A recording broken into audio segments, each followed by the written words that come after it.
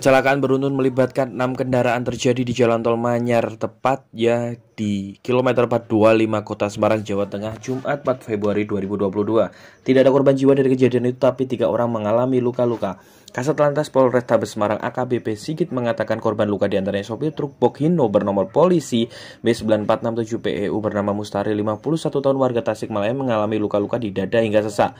Lalu penumpangnya bernama Aupilah 31 tahun warga Tangerang mengalami luka robek di siku tangan kiri.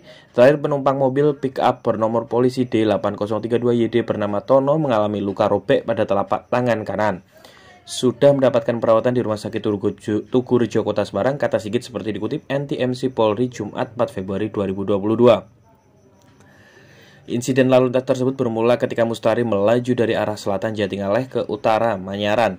Ketika satu saat berada di lajur kanan, Mustari diduga kurang waspada pandangan depan sehingga menabrak truk box Isuzu bernomor polisi B9193 FZV yang berhenti di depannya.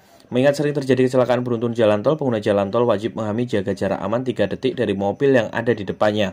Waktu 3 detik ini bukan sebarang angka. Ada beberapa hal yang menjelaskan maksud lamanya waktu tersebut.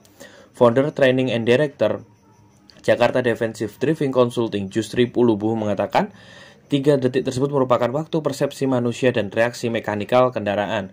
Kebutuhan waktu itu untuk mendapatkan manuver yang kita inginkan seperti menghindar atau mengerem berdasarkan dari waktu persepsi dan reaksi mekanikal, ucap Jusri kepada kompas.com grup Surya Online beberapa waktu lalu.